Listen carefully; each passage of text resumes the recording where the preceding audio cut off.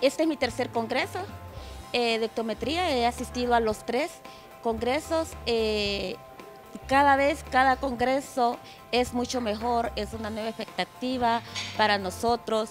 El de este año ha sido un éxito, las ideas que han tenido los compañeros en cada proyecto, el apoyo de la universidad incondicional, entonces eso para nosotros ha sido espectacular. Eh, ha sido bastante difícil la experiencia, una por el por el trabajo, el tiempo que nos toca eh, venir. Nosotros comenzamos estudiando hace cinco años y nos tocaba venir hasta la capital.